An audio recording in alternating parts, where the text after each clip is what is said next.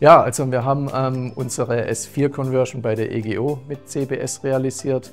Wir beschäftigen uns jetzt mittlerweile seit 2017, 18 mit der S4-Einführung und haben vor zwei, drei Jahren intensiv Gespräche mit CBS geführt und letztendlich für uns auch jetzt den besten Partner mit CBS gefunden und damit jetzt auch erfolgreich die EGO auf S4 gebracht.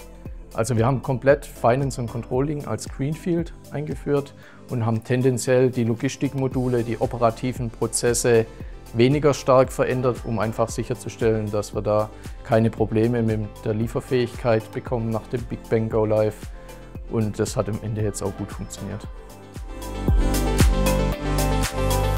Wir sind in der Testphase 1 damit gestartet, wirklich Fehler zu finden, so viel wie möglich, um das System möglichst schnell stabil zu bekommen.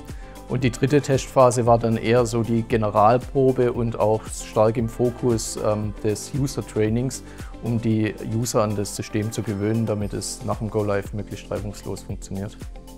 Ja, letztendlich ist ja so, viele Fehler, wenn die in einem Buchungskreis auftreten, treten die in allen Buchungskreisen auf.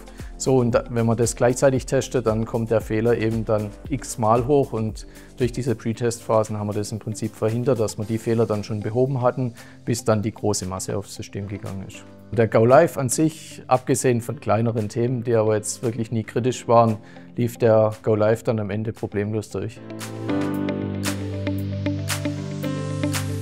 Glaube, die größten Herausforderungen gehen schon zu Beginn los, erstmal den richtigen Scope zu finden. Unser Ansatz war natürlich, möglichst viel Greenfield zu realisieren, muss es aber letztendlich auch so gestalten, dass es technisch ähm, sowie als auch für die Organisation machbar ist und realistischer Scope ist. Und dann im Projekt ist natürlich auch nochmal die Herausforderung da, das dann auch so umgesetzt zu bekommen mit allen Unwägbarkeiten, die man bei so einem großen Projekt hat. Also zum einen natürlich, wir haben die neue S4-Plattform, haben jetzt eine neue technologische Basis, auf der wir jetzt auch wieder besser weiterentwickeln können. Wir haben das Thema Finanzen und Controlling ähm, komplett neu aufgesetzt, um mehr Transparenz in die Zahlen zu bekommen, um bessere Strukturen zu haben, um uns da zukunftsfähig aufzustellen.